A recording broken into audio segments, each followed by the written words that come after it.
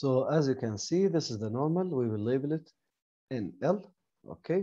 And it's supposed to be a, a straight line. Then what they ask here, okay? Label the point Q where NL cross AB. So this is the point Q. I'll label it, okay? I'll change the color so it will be more clear. This is Q, okay, in the middle between A and B, exactly.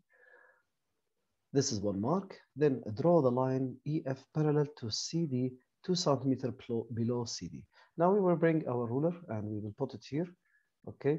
We put our ruler here and we measure two centimeter below. And the same thing here, we measure two centimeter below and we will mark the points in both sides so we can do what we can draw a line which is parallel to CD and two centimeter below.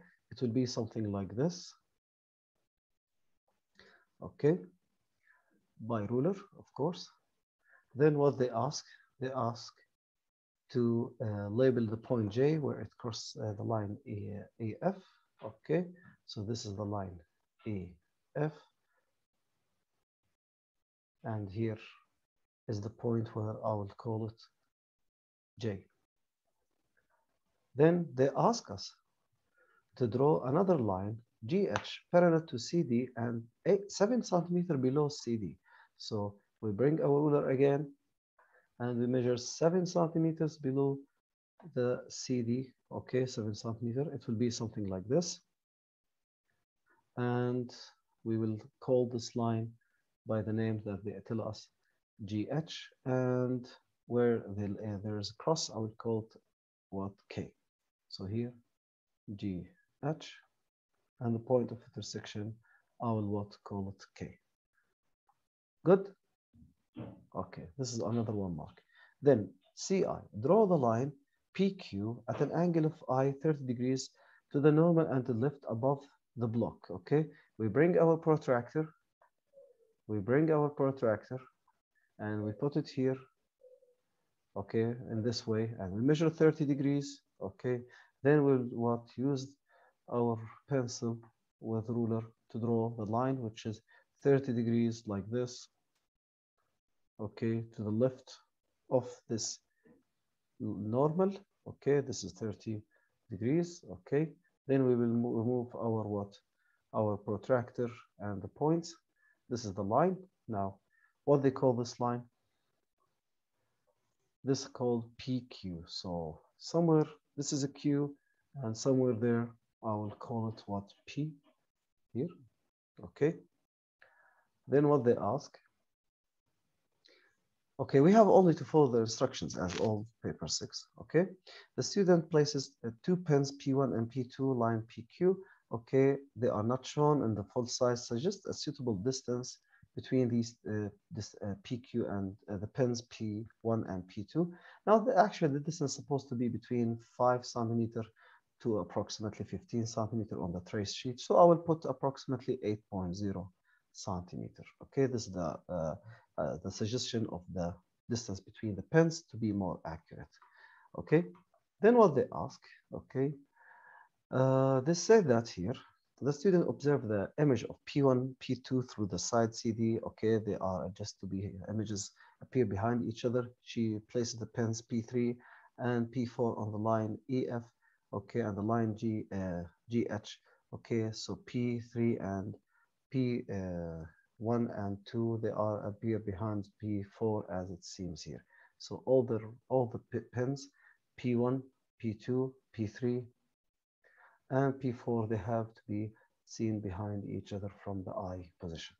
What they ask here, okay, after they, we do that, on the figure, measure, use the ruler, measure the length of the line J what P3, okay? From J to P3, by using the uh, ruler, I will measure the distance from here to here. It will be approximately 2 point, what, 2.4 centimeter. Let me write it down. Okay. So it will be approximately 2.4 by using the calculator. So 2.4 centimeter, they call the distance A.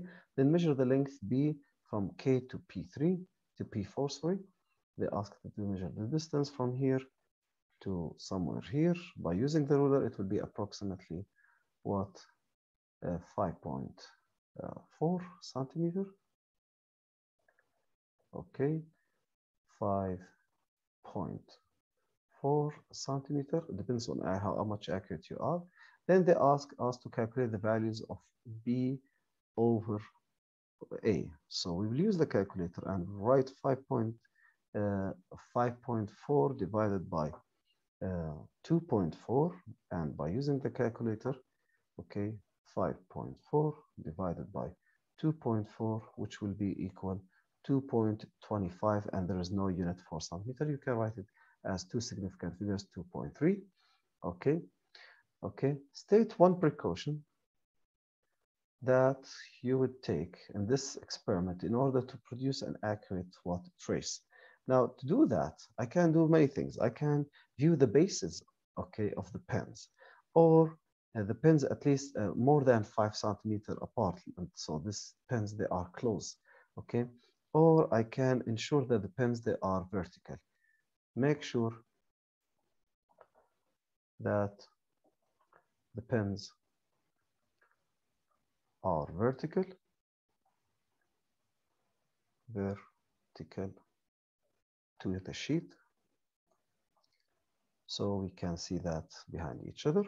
Okay, then what they ask here, here, a student plans, okay, plans to test the suggestion that in this experiment, B over A, okay, at the is a constant for all possible values of i.